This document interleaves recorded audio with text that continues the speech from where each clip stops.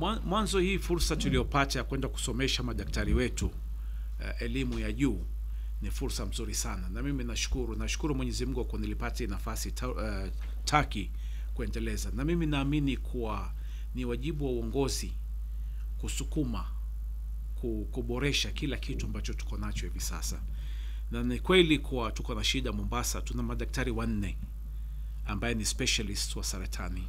lazima tuongeze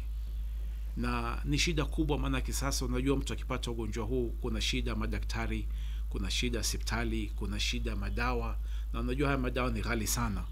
So mimi naona kuwa tukipata ushirikiana